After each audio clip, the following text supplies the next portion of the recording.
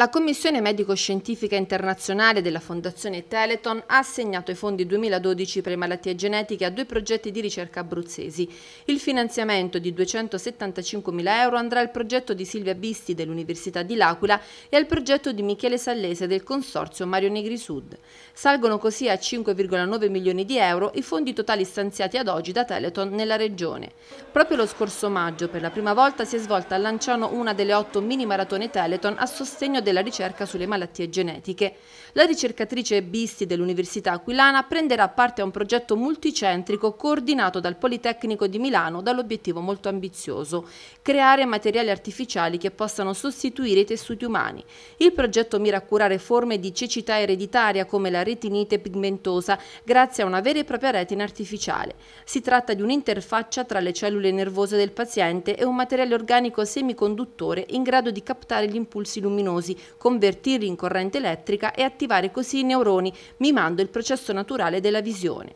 L'altro progetto abruzzese finanziato è quello coordinato da Michele Sallese del Consorzio Negri Sud, che in collaborazione con Roberto Chiesa dell'Istituto Negri di Milano approfondirà i meccanismi molecolari di una rarissima malattia neuromuscolare di origine genetica, la sindrome di Marinesco-Sjögren. Già nei primi anni di vita questa sindrome si manifesta con difficoltà di coordinazione dei movimenti e del linguaggio, debolezza muscolare che impedisce di sostenersi e camminare in modo autonomo, frequente cataratta congenita bilaterale.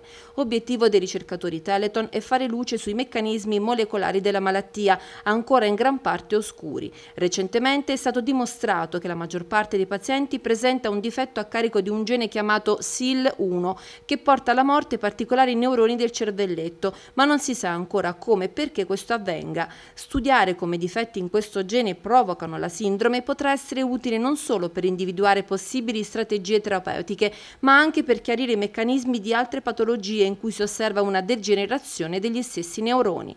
Quest'anno, grazie a Teleton, sono stati raccolti 11 milioni e 167 mila euro per la ricerca sulle malattie genetiche che consentiranno di finanziare 44 progetti rispetto ai 36 del 2011.